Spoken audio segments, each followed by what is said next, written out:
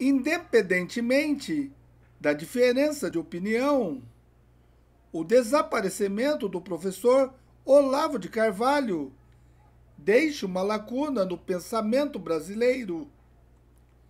Defensor intransigente da liberdade e livre iniciativa, fundamentos da democracia.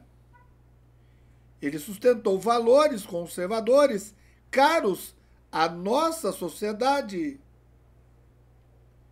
General Hamilton Mourão